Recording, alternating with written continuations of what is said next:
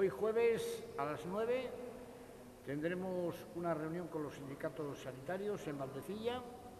A continuación estaré prácticamente toda la mañana en Torlavega, primero visitando el barrio Covadonga, el Parque La Barquera, la visita al mercado. Por la tarde, a las 19 horas, meeting en Corrales, en el teatro, y cerraré el día en Reynosa a las 20.30 en el teatro principal.